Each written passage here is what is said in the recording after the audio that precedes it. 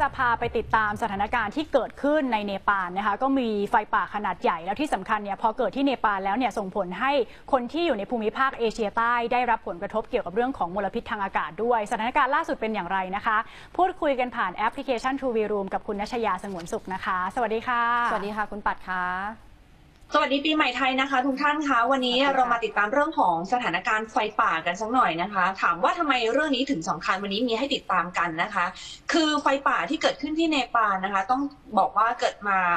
ร่วมๆช่วงเดือนที่ผ่านมาแล้วนะคะ ก็เป็นเหตุการณ์ที่ทำให้หลาย ๆ ฝ่ายมีความวิตกกังวลเป็นอย่างมาก เพราะว่านอกจากเนปาลแล้ว ก็ยังมีที่อินเดียที่เจอกับสถานการณ์เดียวกันนี้ก็คือไฟป่าเช่นเดียวกันนะคะถือว่าเป็นไฟป่าที่รุนแรงที่สุดในรอบ 15ถึง20 ปี เท่าที่มีการประเมินเอาไว้นะคะ เพราะว่าตอนนี้เนี่ย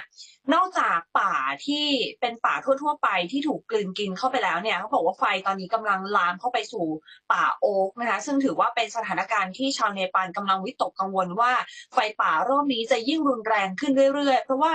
เขาบอกว่า ในระหว่างที่เขานอนหลับอยู่นี้นะคะชาวเนปาลบอกว่าไม่สามารถที่จะหลับได้เลย เพราะว่ามีฝุ่นควันเต็มไปหมดรวมถึงไฟก็ยังไม่สามารถที่จะดับได้ด้วยเช่นกันนะคะ ในขณะเดียวกันเรื่องของมลพิษที่เกิดขึ้นจากไฟป่าก็เป็นปัญหาสำคัญที่ตอนนี้หลาย ๆ ฝ่ายกำลังวิตกกังวลเป็นอย่างมาก พาคุณผู้ชมไปดูเรื่องของตัวคุณภาพอากาศนะที่เป็นดัชนีคุณภาพอากาศที่ถือว่าตอนนี้เนี่ย กำลังมีความวิตกกังวลเป็นอย่างมาก เพราะว่าเมื่อวานที่ดิฉันได้ดูในช่วงค่ำคืนนั้นก็เห็นเลยว่ากรุงกาฐมันดุของเนปาลนะคะ อากาศเป็นพิษติดอันดับหนึ่งค่าอยู่ที่ประมาณ 195 และล่าสุดค่านี้ก็เพิ่มขึ้นเป็น 220 เรียบร้อยแล้วนะคะ เป็นอยู่ในระดับสีม่วงด้วยนะคะ มาจากเว็บไซต์ เอ่อ IQ Air นะคะซึ่งรายงานสภาพอากาศทั่วโลกนะคะเป็นเมืองสำคัญสำคัญ ซึ่งนอกเหนือจากที่เนปาลที่เราเห็นสภาพอากาศอยู่ที่สีม่วง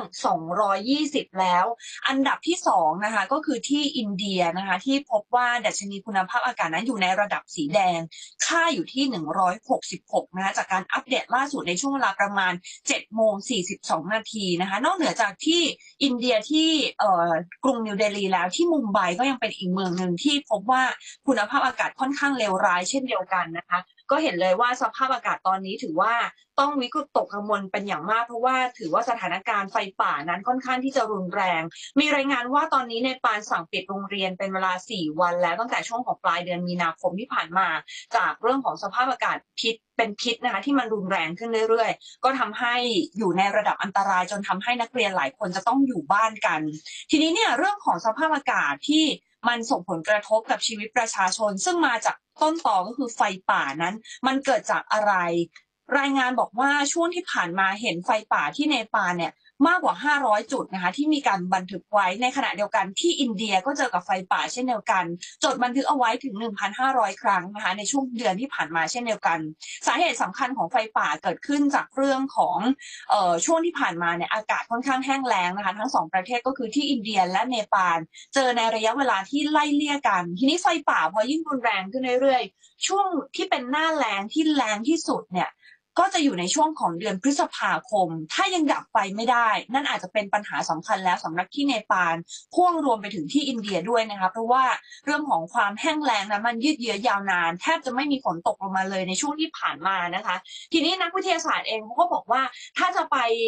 กังวลหรือว่าไปพยายามที่จะโทษว่ามันเป็นเรื่องของภาวะโลกร้อนเนี่ยก็ไม่สามารถพูดได้ซะเต็มปากทีเดียวนะคะ เพราะว่าเรื่องของอากาศที่มันค่อนข้างที่จะรุนแรงแห้งแล้งอยู่แล้วเนี่ยมันก็เป็นปัจจัยสำคัญที่ทำให้ตรงนี้เนี่ยมันกลายเป็นเชื้อเพลิงที่ทำให้ไฟป่านั้น ลามในหลายพื้นที่เช่นเดียวกัน แต่อาจจะต้องเป็นประเด็นปัญหาที่รัฐบาลนั้นจะต้องทำกันบ้าน เป็นบทเรียนไว้หลังจากนี้ เพราะว่า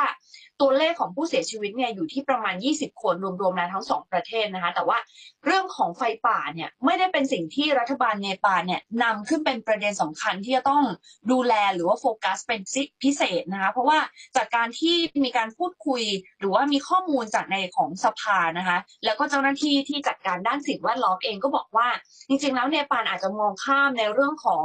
การพูดถึงเรื่องของไฟป่าในสภาแทบจะไม่เคยพูดถึงด้วยซ้ำนะคะอันนี้ก็เลยกลายเป็นปัญหาสำคัญที่อาจจะเจอว่าเมื่อไฟป่ารุนแรงขึ้นเนี่ยเรื่องของการจัดการของทั้งสองประเทศเนี่ยอาจจะไม่ได้จัดการกันเต็มที่สักทีเดียวนะคะ ในขณะเดียวกันที่อินเดียเนี่ยเรื่องของไฟป่าเขาก็ไม่ได้มองว่าเป็นเรื่องของอันตรายจากสภาพอากกาศ หรือว่าเป็นภัยธรรมชาติที่ควรจะวิตกกังวล ดังนั้นอินเดียเนี่ยเขามีการ list เอาไว้ว่า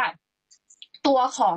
ออสภาพอากาศที่เป็นภัยพิบัติเนี่ยเขา list ไว้ก็คือไซโคลน เรื่องของสึนามิ เรื่องของคลื่นความร้อน เรื่องของดินโคลนถล่มรวมไปถึงน้ำท่วมและแผ่นดินไหวนะที่จะอยู่ใน category นี้ก็คือ category ของภัยพิบัติที่เกิดขึ้นที่เขาจะต้องมีการคำนึงถึง แล้วก็ต้องมีการบริหารจัดการกันอย่างจริงจัง แต่ว่าเรื่องของไฟป่าเนี่ยไม่ได้มีการบันทึกไว้อยู่ใน list นี้นะคะ ฉะนั้นเนี่ยเมื่อไปดูข้อมูลในเชิงลึกของอินเดียในปี 2019 ก็พบว่า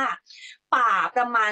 36%ของประเทศเนี่ยเสี่ยงที่จะทำให้เสี่ยงที่จะเกิดไฟป่าได้ทุกเมื่อ แล้วก็เสี่ยงที่จะถูกไฟไหม้ได้ ฉะนั้นเนี่ยป่าหนึ่งในสามของประเทศเนี่ยมีความเสี่ยงสูงมากๆจริง ๆสำหรับที่อินเดียนะคะ สาเหตุที่อินเดียไม่ได้ list ว่าไฟป่าจะเป็นภัยธรรมชาติที่รุนแรงเพราะว่า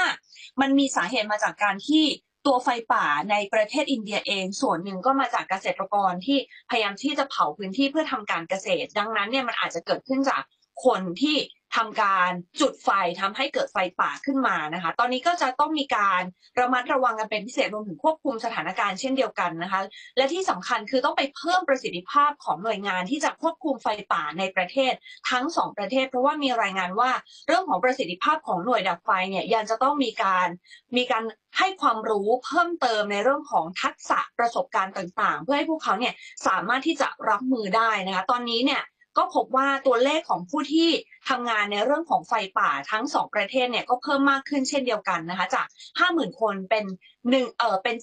75,000 คนนะคะ ตอนนี้ทางการทั้งสองประเทศเนี่ยพยายามที่จะทำทุกวิถีทางในการประสานงานร่วมๆกัน เพื่อที่จะจัดการกับสถานการณ์ที่เกิดขึ้น แต่ดูเหมือนว่าการประสานงานจากหน่วยงานรัฐอย่างเดียวไม่ได้นะคะจำเป็นที่จะต้องได้รับการประสานจากทางคนที่อยู่ในชุมชน ใกล้กับจุดที่เกิดไฟป่า เพราะว่า ถ้าจะดูแผนที่จากนาซาเองก็พบว่าจริง ๆ แล้วไฟป่าเนี่ยยังคงปะทุขึ้นในหลายจุด ทั้งจุดที่สามารถจะเดินขึ้นไปดับถึงได้ ในจุดเดียวกันก็คือสามารถที่จะดับได้ แต่ว่าบางยังมีบางจุดที่ยังไม่สามารถที่จะดับได้ แล้วเขาเกรงว่าตอนนี้เนี่ยมันอาจจะลามเข้าใกล้ชุมชนเข้าไปทุกทีจนถึงขนาดที่มีความเสี่ยงที่คนที่อาศัยอยู่ในชุมชน ในแถบแถบภูเขาต่างๆเนี่ยจะเจอกับสถานการณ์ที่รุนแรงกว่านี้ก็คือไฟลามเข้าบ้าน อันนี้ก็เป็นจุดสำคัญที่เอ่อทางรัฐบาลทั้งสองประเทศจะต้องเร่งจัดการนะคะที่สำคัญคือยังไม่สามารถที่จะพูดได้เต็มปากเต็มคำของคุณแอมคุณผู้ชมคุณผู้ชมว่าไฟป่าที่เกิดขึ้นนั้น มันมาจากเรื่องของสถานการณ์ที่เกี่ยวกับเรื่องของ climate change แต่สามารถเปรียบเทียบกันได้ค่ะ ไม่ว่าจะเป็นเรื่องของสหรัฐอเมริกา แล้วก็ที่ออสเตรเลียที่เจอกับไฟป่าเพราะเขาบอกว่ามันเป็นผลกระทบทางอ้อม ที่เกิดจากภาวะโลกร้อนซึ่งเราสามารถช่วยกันได้นะคะในการช่วยเหลือในการช่วยร่วมเป็นส่วนหนึ่งในการร่วมจัดการกับภาวะโลกร้อน ไม่ให้โลกของเราร้อนเป็นมากกว่านี้ค่ะอืมก็เดี๋ยวถ้ามีเรื่องราวอัปเดตที่เนปาลคุณนัชยามาอัปเดตกัน แล้วก็ขอความร่วมมือจากทุกคนในการที่จะร่วมด้วยช่วยกันนะคะ วันนี้วันปีใหม่ไทยไปเที่ยวไหนไหมคะคุณปาด ไม่ได้ไปค่ะ ตอนนี้กำลังอยู่ที่บ้านนะคะ ก็พยายามที่จะหลีกเลี่ยง รักษาระยะห่างให้ได้มากที่สุดค่ะ ขอบคุณที่ติดตาม TNN ช่อง 16 นะคะ คุณผู้ชมอย่าลืมกด subscribe หรือว่ากดกระดิ่ง เพื่อที่จะติดตามวิดีโอที่น่าสนใจ เรามีให้ได้รับชมอีกเพียบเลยนะคะ แล้วถ้าไม่อยากพลาดรายการสดๆ สามารถติดตามได้ที่ TNN Live หรือว่าคุณผู้ชมสามารถที่จะกดลิงก์ใต้วิดีโอด้านล่างนี้เลย เพื่อติดตามพวกเรากันต่อนะคะ ขอบคุณค่ะ